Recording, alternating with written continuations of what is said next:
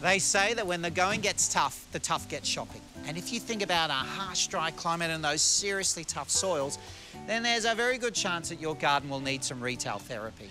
And if that's the case, come to one of my favourite nurseries, Zanthorrea, so you can indulge that urge to shop and get some seriously tough, water-wise and sexy plants. Now, I know a lot of you are probably not all that keen on natives, and it is, I reckon, the world's longest hangover where people still think that our daggy and notoriously scruffy 1970s native garden is what is on offer in the 21st century.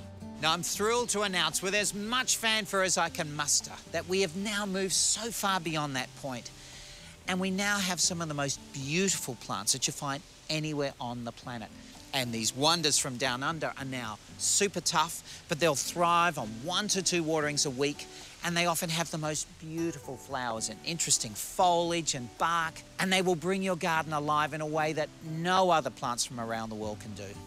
And what I want to share with you are some of my secrets and favourites, the top water-wise native plants for your garden right here in WA. To start with, it would be hard to go past the Eremophilas. Now, these guys are called the desert fuchsias, and with good reason, because they grow in some of the toughest parts of Australia, and yet, look at their beautiful flowers. It belies what a rugged existence they actually have. And of the Eremophilas, this is my absolute favourite. This is the spring mist. I have it everywhere in my garden because I love these soft white foliage bits and these striking purple flowers. How about these amazing mulla mullas, otherwise known as Ptilotus? And they are so beautiful with this iridescent pink flowers, and they come right from the very heart of tough, dry Western Australia. And I don't think you can call yourself a true Aussie unless you've got a true blue Aussie icon in the garden. And here it is, Eucalyptus victrix.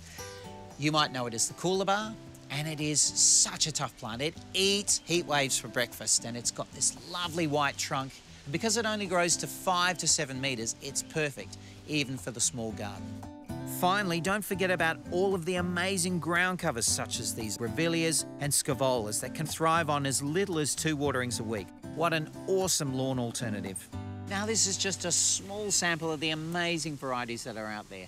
Browse the Water Corporation Waterwise Services directory, save your favourites, head down to your local Waterwise Garden Centre, shop till you drop, so you can fill your garden with the most amazing waterwise native plants.